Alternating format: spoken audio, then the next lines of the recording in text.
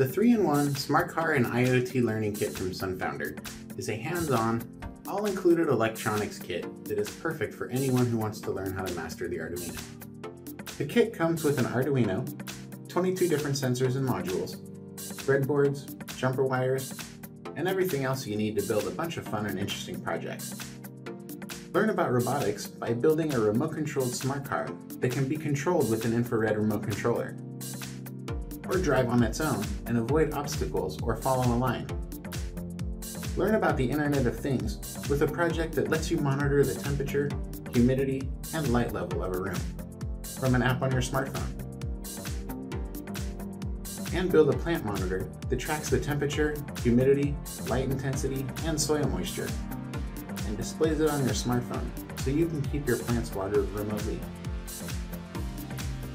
It's a super cool kit, and I had lots of fun building all the projects in it. So click the link in the description below to order the kit from SunFounder.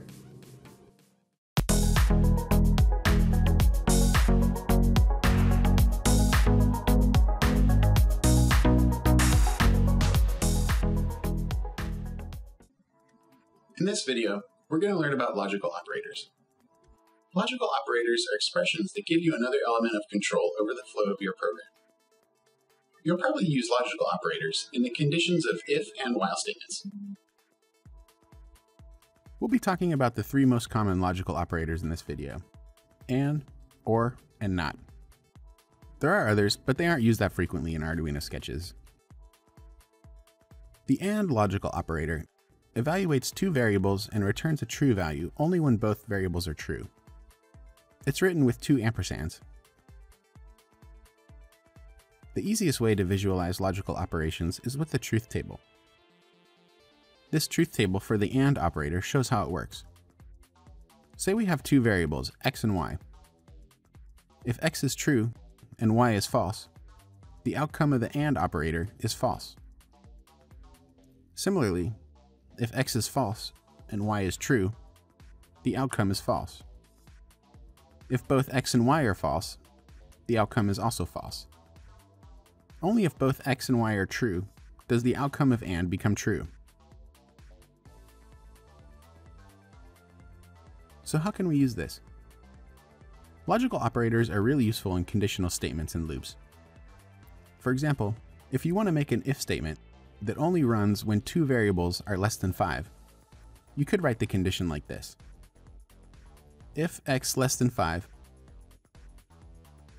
and y less than 5.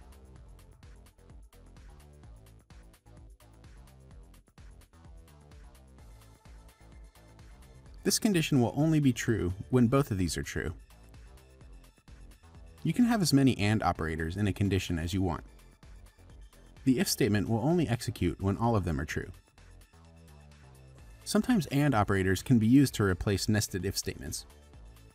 With AND operators, you can put all of your tests in one condition, rather than multiple if statements with multiple conditions. Now let's look at the OR logical operator.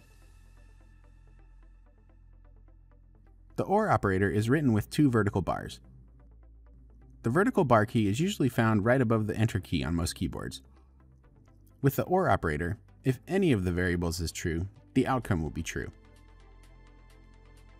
So if x is true and y is false, the outcome will be true. If x is false and y is true, the outcome will still be true. If both x and y are true, the outcome will also be true. But if both x and y are false, the outcome will be false. It only takes one or both of the variables to be true for the outcome to be true. So in this example, if we have x less than 5 or y less than 5, the condition will be true if either of these are true. So if x is less than 5 or y is less than 5, the condition will be true and the if statement will be executed. If both x and y are less than 5, the condition will be true as well. You can have as many ORs as you want in a conditional statement. As long as at least one of them are true, the if statement will be executed. Now let's look at the not logical operator. The not operator is written with an exclamation point. The not operator makes a true statement false and a false statement true. So not true equals false, and not false equals true. The not operator can be used to exclude a number or variable in a condition. For example, if you want an if statement to execute on every value of x except the number 5, you could write the condition as x not equal to 5. This if statement will be executed for every value of x, except when x equals 5. The not operator can be used in other places too. It can be used to switch the voltage state of digital pins.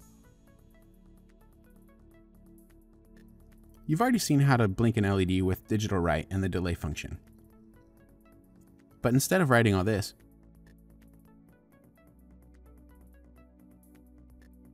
we can use digital write with pin 13 as the first argument. But instead of writing high or low as the second argument, we can use a digital read of pin 13 with the not operator placed in front of it. This way, before writing a high or low signal to pin 13, the Arduino will first read the voltage state of pin 13. If it's high, the digital read function will return a high value.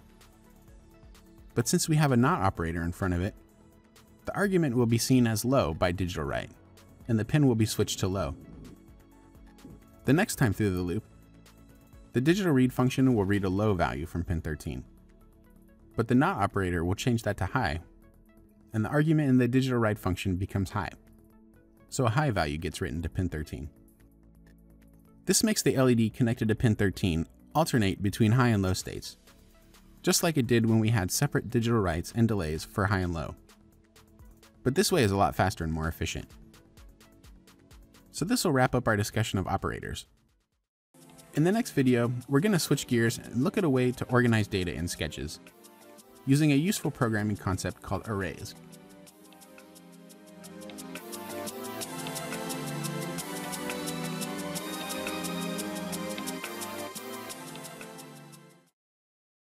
SunFounder is my go-to source for sensors, modules, and other parts for the Arduino and Raspberry Pi. They have a huge selection of STEM, robotics, and IoT kits, and lots of useful sensors and modules. Every product has an online tutorial with wiring diagrams and example code. They also offer free shipping on all orders, with no minimum. Give them a try at www.sunfounder.com next time you need to order some parts.